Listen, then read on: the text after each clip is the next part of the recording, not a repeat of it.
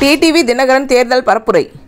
அம்மா மக்கள் முன்னேற்ற கட்சியின் கூட்டணி சார்பாக வேளச்சேரி தொகுதியில் போட்டியிடும் வேட்பாளர் சந்திரபோஸ் அவர்களை ஆதரித்து டிடிவி தினகரன் அவர்கள் சென்னை வேளச்சேரியில் தேர்தல் பரப்புரை செய்தார்.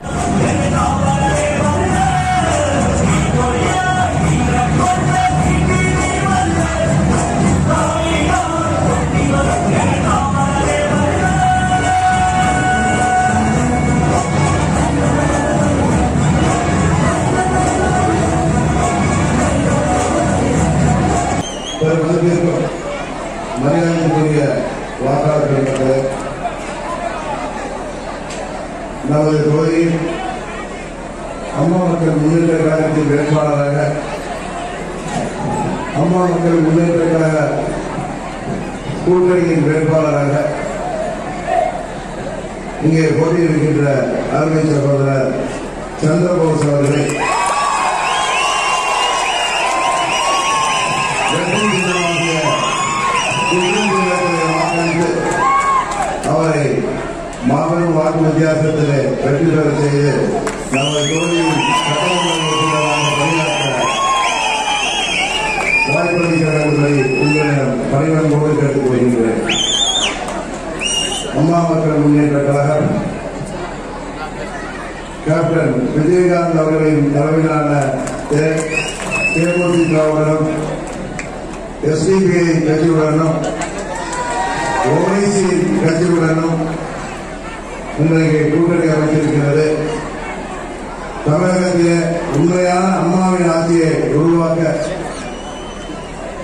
தமிழ துரோகிகளை ஆட்சி கட்டில் அமரவிடாமல் தடுக்க தீய சக்தியா திராவிட முன்னேற்ற கழகத்தை ஆட்சிக்கு வரவிடாமல் தடுக்க நீங்கள் உண்மையான அம்மாவின் ஆட்சியை உருவாக்கிட தமிழகத்தில் தமிழகம் என்றென்றைக்கும் அமைதி பூங்காவாக திகழ்ந்திட நீங்கள் வாக்களிக்க வேண்டிய சின்னம் குக்கர் சின்னம்.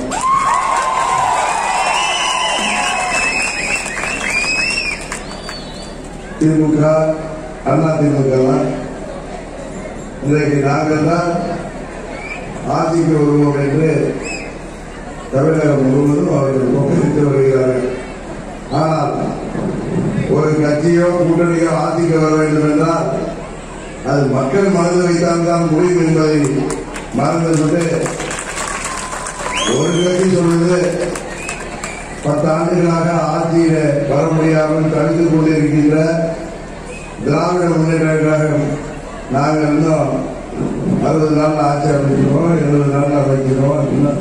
இப்படிதான் எண்பதுல புரட்சித் தலைவர் ஆட்சி அமைச்சு கலைஞர் விட்டு திமுக காங்கிரஸ் கூட்டணி தேர்தலை வச்சாங்க அப்பெல்லாம் சொல்லுவாங்க ஜூன் மாதம் கருணாநிதி அவர்களின் பிறந்த நாளுக்கு வெற்றி விழா நோட்டீஸை அடிச்சு போஸ்டர் அடிச்சு வச்சிருக்காங்களாம் ஆனால் தமிழ்நாட்டு மக்கள் புரட்சி தலைவர் டாக்டர் எம்ஜிஆர் அவர்களைத்தான் தமிழகத்தின் முதல்வராக தேர்ந்தெடுத்தார்கள். அதற்கு முன்பு நடந்த பாராளுமன்ற தேர்தலில் திமுக காங்கிரஸ் கூட்டணி வெற்றி பெற்று புரட்சி தலைவர் வெற்றி பெற முடியாமல் போனதால் டாக்டர் எம்ஜிஆர் அவர்களின் ஆட்சியை கலைத்துவிட்டு பகல் கனவு கண்டார்கள் தமிழ்நாடு சுதந்திர வாகன உரிமையாளர்கள் மற்றும் ஓட்டுநர்கள் சங்கத்தினர் என்னை வந்து சந்தித்து கோரிக்கை வைத்தார்கள். கால் டாக்ஸி ஓட்டுநர்கள் கார் உரிமையாளர்கள் கால் டாக்ஸி நிறுவனங்கள் ஆகிய எல்லோருக்கும் சில குறைகள் தேவைகள் என்பதை உணர்ந்து அவர்களுக்கெல்லாம் ஒரு தனி கொள்கை உருவாக்கப்படும் என்று ஏற்கனவே நமது அம்மா மக்கள் முன்னேற்ற கழகத்தில் தேர்தல் அறிக்கையை சொல்லியிருந்தோம். நீதிமன்ற தீர்ப்பின்படி ஆட்டோக்களுக்கு மீட்டர் பொருத்தப்படும் போது பெட்ரோல் விலை உயர்வுக்கு ஏற்ப ஆட்டோ ஓட்டுநர்களும் பொதுமக்களும் பாதிக்கப்படாத வகையில் ஆறு மாதங்களுக்கு ஒரு முறை மீட்டர் கட்டணத்தை நிர்ணயிக்க நடவடிக்கை எடுக்கப்படும். ஐடி உள்ளிட்ட தனியார் நிறுவனங்களில் பணிபுரியும் கார் டிரைவர்களுக்கு இஎஸ்ஐபிஎஃப் இன்சூரன்ஸ் போன்ற வசதிகளை கட்டாயமாக்க நடவடிக்கை எடுக்கப்படும். அனைத்து வாடகை வாகன ஓட்டுநர்களின் நலன்களை தனி நல வாரியம் அமைக்கப்படும். ஆட்டோ ஓட்டுநர்கள் சொந்தமான ஆட்டோ வாங்கும் போது ரூபாய் இருபத்தைந்தாயிரம் மானியமாக வழங்கப்படும் என்று நாங்கள் தேர்தல் சொல்லுகிறேன் அம்மாவின் உண்மையான ஆட்சியை தமிழ்நாட்டிலே அமைந்திட நீங்கள் வாக்களிக்க வேண்டிய வெற்றி சின்னம் குக்கர் சின்னம் உங்களது வெற்றி வேட்பாளர்